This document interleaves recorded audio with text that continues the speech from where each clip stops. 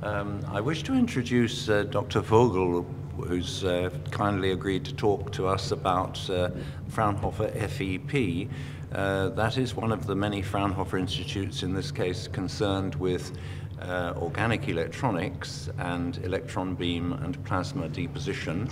And the obvious question to start with, Dr. Vogel, is uh, what is all that? How does it fit together? okay. Thanks for the good question. And indeed, uh, considering the history of Fraunhofer FEP, uh, originally it was founded in 1992 or so, um, and uh, long before my time. And um, at that point in time, it was mainly dedicated uh, to electron beam uh, and plasma technology. So mainly methods uh, for well, for creating or for generating electron beams and for performing a specific, uh, let's say, material, um, um, how to say, material um, adaptation yes. uh, uh, steps. Uh, but also, let's say, for using electron beam, let's say, for different uh, kinds of applications, as, uh, for instance, also, let's say, sterilization, uh, also for, uh, let's say, for electron beam-based evaporation, and several approaches. Um, and plasma technology has mainly been used uh, for uh, deposition uh, of several materials, thin films, for instance, also barrier films, but also, let's say, optically um, um, active uh, films, or let's say for optical filters or similar. Um, and uh, let's say these uh, two uh, general uh, topics uh, have been the original reason for founding these institutes in the early 90s. the organic electronics actually um, well joined uh, Fraunhofer FEP in 2014, and since it was um, until that point in time, it was a part of, an, of another Fraunhofer uh, entity, uh, which has been joined with FEP in 2014, and that's why, uh, let's say, now it's organic electronics, electron beam, and plasma technology. But anyway, one of the reasons to join, uh, let's say, these uh, or let's say this organic electronics uh, Fraunhofer entity uh, together with uh, the original Fraunhofer FEP was that there have been, uh, let's say, several synergies already uh, before that. Uh, so we already had some collaboration uh, with Fraunhofer FEP, for instance, also on their uh, expertise in, let's say, in, in, in, specific tools and specific equipments. So, uh, you know, for instance, uh, also, let's say, in OLED, but also, let's say, in thin deposition in general, there are sheet-to-sheet -sheet, equipment um, as well as roll-to-roll equipments. and Fraunhofer FEP, already the original one has been active in uh, developing uh, roll-to-roll tools, for instance, for barrier uh, film depositions. and at the previous uh, Fraunhofer COMEDD, which worked in the uh, organic electronics, um, we already operated a tool for OLED uh, roll-to-roll deposition, which was already uh, before 2014 uh, located at the Fraunhofer FEP, but operated by Fraunhofer COMEDD at that point in time. Uh, and uh, also, let's say, Fraunhofer FEP originally has been rather, let's say, process development oriented, whereas uh, the previous uh, Fraunhofer COMEDD has a little bit more focus, I mean, which was focusing on organic electronics, but more focusing on using processes, also developing processes, but also using processes uh, for specific applications. So, for instance, for displays, for micro displays, uh, or also for uh, OLED and lighting and signage applications. So, and that uh, made also, let's say, a good uh, fit uh, for Fraunhofer to even, let's say, make use or make advantage of the synergies between the process-oriented uh, uh, original FEP and the more, let's say, application and product-oriented or hmm. device-oriented uh, a COMEDD, and so that synergy turned out to be successful. Hmm. Well, that's interesting. And organic electronics, sometimes that includes the inorganic materials and composites on an organic substrate, or are you specializing specifically in organic active materials? Well, in the uh, in the FEP in general, uh, we are working on several types of substrates. So, I mean, uh, of course, we make use of organic substrates. Um, for instance, also uh, barrier films uh, are being deposited uh, on organic substrates, for instance, by roll-to-roll process processing, and those foils are being used for packaging, for instance, packaging applications or, or other applications. Um, we are also making use of glass substrates, obviously, both um, rigid as well as ultra thin glass mm. uh, that can be uh, flexible. Or, um, and also, let's say, uh, ultra thin glass, for instance, can be used for both uh, as a both as a substrate as well as an uh, encapsulation, uh, let's say, material again, so to provide barrier properties, for instance. So, and last but not least, um, if we consider micro displays, we are using silicon wafers, single crystalline silicon wafers as a substrate, uh, where we deposit uh, the OLED uh, on top, on 8-inch wafer level, for instance.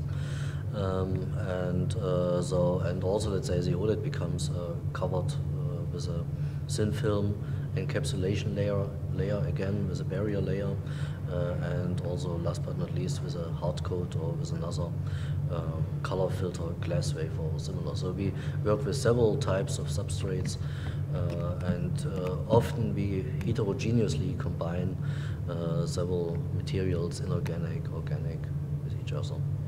Uh, yes, and what you put on them is also organic and inorganic. Yes, like yes, the barrier yes. layers. Do you do the duplex ones with the organic and inorganic layers? Yes, yes, that's one All thing. Right. Or the organic semiconductors themselves, uh, mm. which are well, organic, um, uh, but for instance also for uh, optical filter uh, layers, uh, these might be inorganic ah. materials again. So, all right. and often these are also, let's say, combinations of both. All right. And your speciality is micro displays. Can you tell us a little more? Yes, sure, of course. So uh, micro displays are, well, usually very tiny displays, typically screen diagonals less than one inch, but even more typical, these are, let's say, 0.2 inch, 0.4 inch, 0.6 inch. So rather tiny displays. And you always need some sort of optical magnification uh, to perceive an, an, image out of those tiny displays. Since you have to uh, imagine that on such a tiny screen, you still have the same number of pixels as you have on a regular well, nowadays uh, mobile phone display, TV screen, or whatever. So very tiny, and you would not be able to, let's say, uh, to perceive an image uh, with your naked eye from such a tiny screen. So you always would need some optical magnification uh, in front of that, and uh, that optical magnification could mean, let's say, um, uh, virtually, or let's say, an, let's a virtually enlarged image. So you have some sort of magnification optics that projects projects the the uh, display image into it's your your natural field of view. This can be augmented reality, or this could be virtual reality, or maybe also an electronic viewfinder where you have the same, uh, mm. let's say, projection setup, or it can also be, let's say, um, a real. Uh, um, uh, let's say, uh, enlarged magnification, so like in a projector, for instance, so in a front projector. Mm. So, uh, but in any case, let's say some optical magnification is part of that.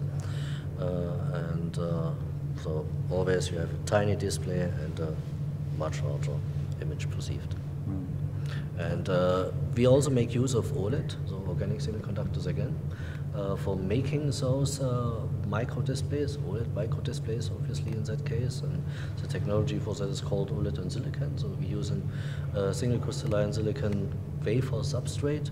Uh, we perform the so-called backplane design. So if you think of a, such a micro display with millions of pixels, full HD resolution, for instance, so each of the millions of pixels has to be uh, addressed and uh, driven and controlled individually. So you need a backplane for that, an active matrix backplane, similar as you have it in a in a mobile phone, but whereas uh, in a, in a mobile phone, you have a thin film transistor backplane, and mm. micro displays we a, use a mm. single crystalline silicon backplane. So much more compact devices, much higher performance, but a much smaller area. And we uh, make this IC, integrated circuitry backplane design, so the pixel uh, array circuitry and let's say also surrounding driving and control electronics. And then uh, we receive the wafers from a wafer fab, so we send our design data to them. We receive the 8-inch wafers from uh, that fab, and then we perform the OLED post-processing in our line, in our pilot manufacturing line. And then we come up with such tiny displays. Maybe I can even Oh, yes, show you something. Yes, yes. Of course, I don't- OLEDs have been a huge success and a long way to go, haven't they? Is that uh, something that can be seen here? I don't know. It should be. It should light up inside. Can you see that? There should be some. Tiny. Well, yes, that's the idea. Absolutely. And yes, uh, I can even show you the display itself. Yes. I mean, most of that is just battery, electronics, and, and the tube. Yes. And the tube over here is mainly hollow. Uh, and there's a, a lens in front of that, and the actual display is here on the end of this tube. So you can Yes, imagine that's the interface towards the display. So it's a serial interface, so just a few uh, cables inside, and the display is here behind uh, that tape. And so the display itself is, uh, I don't know, about three by four millimeter. Or let's say the entire chip is about three by four millimeter in size. Yeah. So um, and the display area maybe about three by two millimeters, and that's it. So rather What, what sort of applications are now envisaged? Uh, Yes, I mean uh, specifically that sort of display is um, intended to be um, integrated into, let's say, near-to-eye displays. Yeah. So uh, let's assume you have kind of sports glasses, Yeah. uh, and you have such a tiny display. I mean, the optics is, as you can imagine, the, the biggest part of the entire thing. Yeah. Uh, but uh, there are also uh, different uh, optical solutions uh, you can think of. Yes. And then you can really uh, integrate that, or at least the display and the interface for that, let's say, into the nose frame Mm. uh, of a, Yes. uh, let's say, uh, of, of spectacles. Um, and uh, then you might uh, also consider, let's say, a different type of optics uh, that is more or less, let's say, also projecting uh, the display image uh, onto Yes. the, the Yes. let's say, Yes. your, your eyeglass. Uh, and uh, then you would also embed some maybe smaller batteries in here, and also, let's say, uh, electronics, the same as here maybe, but also in a smaller form factor that provides a Bluetooth low energy connection to your mobile phone, for instance. Yeah. And then you can uh, wear that, uh, let's say during cycling, for instance, during bicycling, uh, or, or let's say also during professional activities, uh, and you receive, uh, perceive additional information. Yeah. Let's say in a, in a semantic context to the Yeah. activities that you are currently performing. Yes. And let's say, and, and the, the eyewear device itself is a rather thumb device. It's just a display, the optics, of course, and let's say a wireless interface. Uh, and then let's say all the say processing power and cloud connection and whatever you might need uh, could be performed by your smartphone, for instance. Right. So That- and yes. that is and and what is uh, specifically important, uh, let's say specifically in those wearable applications, is obviously life battery life. Mm. So I mean, you would not like to to recharge your device every four hours or whatever. Mm. So let's say also let's say during cycling, it should last at least one day, and Mm. independent if it's 12 hours or or eight hours or whatever. Uh, and that's why we, let's say, also this specific micro display uh, architecture uh, has been developed to really, let's say, achieve ultra low power consumption. So, I mean, finally, the consumption of the power consumption of that chip is just related to the to those pixels that are on at a certain uh, point in time.